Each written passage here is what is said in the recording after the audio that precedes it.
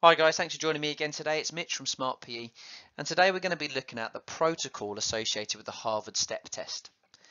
Now this test itself measures cardiovascular fitness or aerobic endurance and involves an athlete stepping up and down on a bench once every two seconds for five minutes.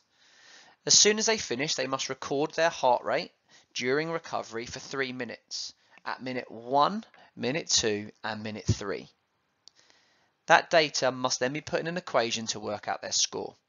And the equation is 30,000 divided by pulse 1 plus pulse 2 plus pulse 3.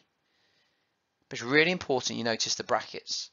Pulse 1 plus pulse 2 plus pulse 3 must be done first.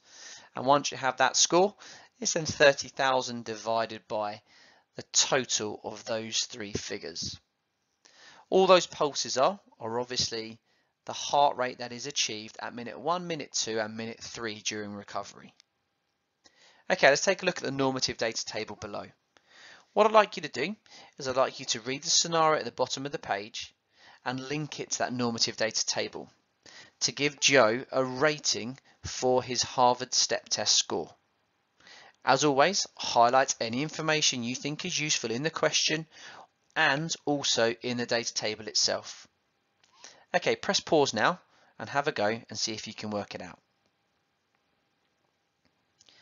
Okay, let's look at the answer. So the score that you should have got. Joe's score for the Harvard STEP test was incredibly high. It was 92.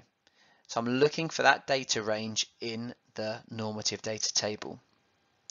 Now if I look at excellent, that funny little triangle on the side pointing towards 90 means greater than 90 and we know his score is 92. So I would highlight the 90 and I would also highlight the rating above just to make sure when I transfer it into my question I don't actually misinterpret it or write the wrong rating down. If you're able to do that, the correct rating is excellent overall. Scan another QR code to find out about another fitness test.